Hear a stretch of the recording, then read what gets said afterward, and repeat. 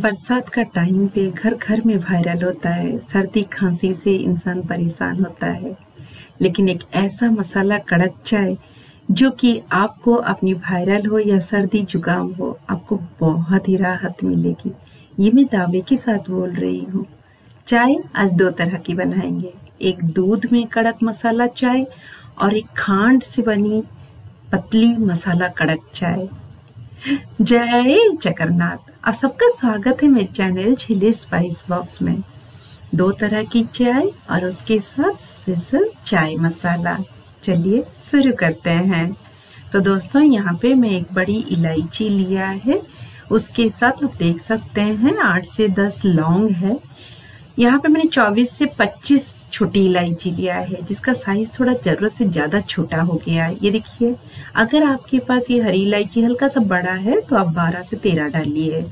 और उसके साथ यहाँ पे हम लेंगे दो तेज पत्ता तेज पत्ता बहुत अच्छा होता है सर्दी खांसी में। एक चौथाई छोटा चम्मच काली मिर्च भी लेंगे।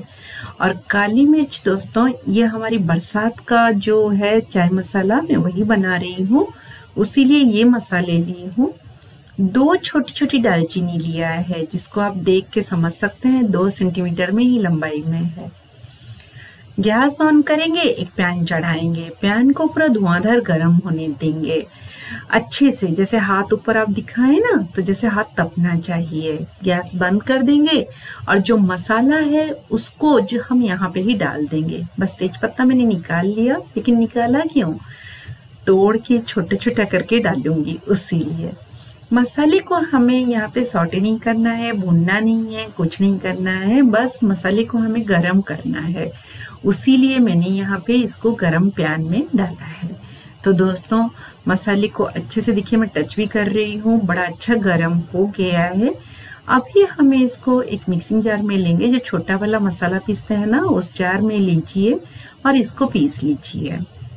पीसने के बाद हमारा जो चाय मसाला है वो तैयार हो गया है। फिर से बोल रही हूँ, ये बरसात के लिए मैंने स्पेशल चाय मसाला बनाई हूँ। गर्मी में, ठंडी में अलग टाइप का बनाती हूँ। ऐसे ही जुड़े रहिए, मैं आप लोगों के लिए ओस मसाला भी लेके आऊँगी। एक एयर टाइट कंटेनर में रख लीजिए। आप लोग सोच रहे होंगे, ये दो तीन चम्मच मसाला कितना दिन जाएगा? अगर आपके घर में मेरे घर की तरह दो कप चाय बनती है और सुबह शाम तीन बार बनता है तो ये एक हफ़्ते का मसाला है दोस्तों। तो चलिए चाय बनाते हैं। अदरक बहुत महँगा है। अगर स्किप करना चाहें तो कर सकते हैं, लेकिन तुलसी ज़रूर डालिए बरसात की चाय में। मैं आपको दिखाने के लिए अदरक डाल रही हूँ। अभी मेरे किचन में भी अदरक बंद है, क्योंकि अदरक बहुत महँगा चल रहा है। गैस ऑन करेंगे और सॉसपेन में बस दो से तीन बड़ा चम्मच पानी डालेंगे। पानी उबल जाए तो उसमें हम दूध डाल देंगे। मैं दो कप चाय बना रही हूँ तो दो कप दूध ले रही हूँ। ये मेरे हस्बैंड की मतलब उनकी पसंद की चाय है। वो पतली पानी वाली चाय नहीं पीते हैं और दूध वाली चाय पीते हैं। तो दोस्तों दूध थोड़ा सा देखिए उबलना शुरू हो रहा है। इस जगह पे हम तुलसी का पत्ता डाल देंगे और जो अदरक कुंचा हुआ रखा था उसको डाल देंगे। आप चाहें तो अदरक स्किप करके तुलसी का जो दो तीन पत्ते भी आप डाल सकते हैं। अगर आपको जुकाम है तो आप थोड़ा तुलसी का क्वांटिटी बढ़ाइए, आपको बहुत आराम मिलेगा। अब एक उबाल ऐसे आ जाए तो गैस को थोड़ा सा मीडियम टू लो कर देंगे और चलते हैं चीनी चाय पत्ती डालने के लिए। तो जिस चम्मच से हम खाना खाते हैं, मैं उसी चम्मच से ही दो चम्मच चाय पत्ती डाली हूँ और डेढ़ चम्मच में चीनी डाली हूँ। मीठा आप अपने अकॉर्डिंग कम ज़्यादा कर सकते हैं। तो अभी जो दूसरा वाला जो चाय देखेंगे ना, उसको हम खांड से बनाएँगे, चीनी से नहीं, देसी खांड से। तो इसको अभी मिक्स कर लेते हैं। कड़छी से ऐसे ना चलाओ तो चाय कैसे कड़क बनेगी? दो से ढाई मिनट उबलने के बाद आप देख सकते हैं चाय का कलर कितना मस्त आया है। है ना दोस्तों? पूरा टपरी वाली कड़क चाय की तरह दिख रही है। अब बारी है मसाला डालने की। जिस चम्मच से चाय पत्ती डाली थी, उसी चम्मच से आप देख सकते हैं एक चौथाई छोटा चम्मच का भी आधा मैंने डाला है। बहुत कम मतलब दो चुटकी बस। डाल के अच्छे से मिक्स कर लेंगे। उबालेंगे कितना टाइम? ये मन में सवाल आ रहा होगा ना? बस आधी मिनट या एक मिनट उबालिए, ज़्यादा नहीं। चाय तैयार है फ्लेवर के साथ। तो चलिए, जल्दी जल्दी से छान लेते हैं और इस चाय को मसाला भुट्टा के साथ एंजॉय करते हैं। मसाला भुट्टा भी मैंने एक स्पेशल मसाले के साथ बनाई थी। आप लोगों ने उसको देखा है या नहीं? लिंक आई बटन पे दे दूँगी। एक बार चेक ज़रूर कीजिएगा।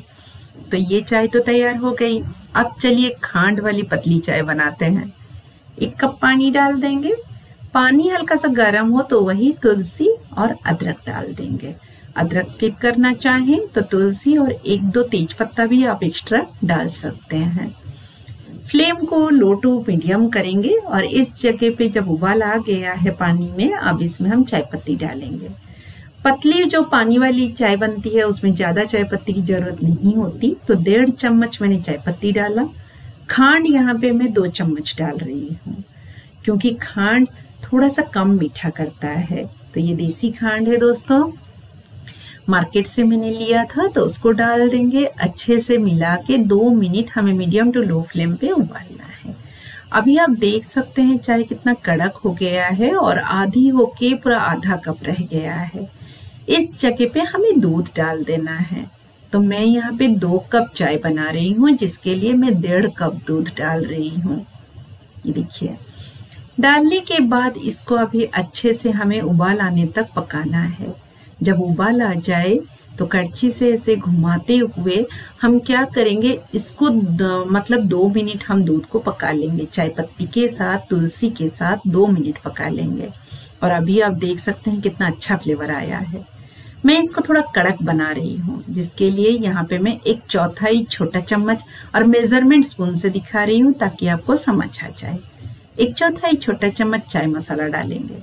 वही आधी मिनट या एक मिनट उबालेंगे।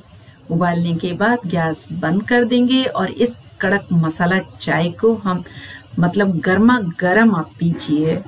आपकी अगर सर्दी जुकाम है, बॉडी में थकान है, आपकी थकान दूर हो जाएगी। मुझे कमेंट सेक्शन में ज़रूर लिख के बताइएगा, ये मसाला आपको कैसा लगा। नई रेसिपी के साथ फिर से मिलते हैं। जय जगन्नाथ।